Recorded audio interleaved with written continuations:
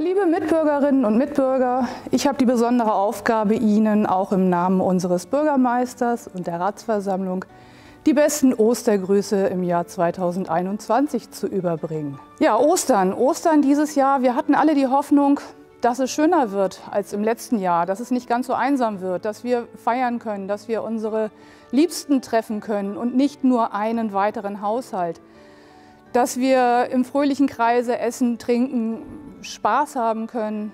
Ja, aber auch in diesem Jahr haben wir leider wieder die Einschränkungen aufgrund der Corona-Pandemie. Ich möchte mich aber auf jeden Fall bei den Menschen bedanken, die es auch bisher geschafft haben, sich einzuschränken, die geholfen haben. Dass auch hier in Schleswig oder insbesondere hier in Schleswig und im Kreis Schleswig-Flensburg die Inzidenzzahlen im Moment recht niedrig sind. Und damit das so bleibt, müssen wir eben auch weiterhin diese Regeln einhalten. Aber ich denke, ich spreche für uns alle, wenn ich sage, wir möchten doch einfach, dass die Geschäfte weiterhin geöffnet bleiben können, dass die Kinder auch weiterhin in die Schule gehen können. Und damit das eben alles so ist und auch unser Gesundheitssystem natürlich nicht überlastet wird, ist es einfach notwendig, dass wir noch ein bisschen aushalten. Gehen Sie sich testen lassen, gehen Sie sich impfen lassen, wenn Sie dann einen Impftermin haben und tragen Sie so auch weiterhin dazu bei, dass wir diese Zeit gemeinsam überwinden. Das Osterfest, ja, es ist eigentlich das Fest der Hoffnung. Es ist das Fest der Auferstehung. Soll symbolisieren, dass das Leben über den Tod gesiegt hat. Das Osterfest ist für mich persönlich immer so, so ein Tor zum Sommerhalbjahr.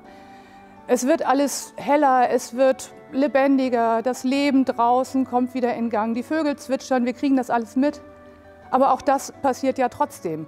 Das passiert auch trotz Corona. Und wenn Sie nach draußen gehen und einfach mal alleine in Ihrem Garten oder irgendwo an der Schleich stehen und die Ohren und die Augen offen halten, dann werden Sie sehen, dass die Natur einfach trotzdem noch nicht aufgegeben hat. Und das hoffe ich auch, dass wir das auch schaffen. Dass wir es einfach auch in den nächsten Monaten schaffen, dass das Impfen verstärkt stattfinden kann, dass sie sich alle testen lassen können, dass wir die Ansteckungszahlen wirklich ganz gering halten weiterhin, damit das Leben hier so gut wie eben im Moment möglich auch stattfinden kann.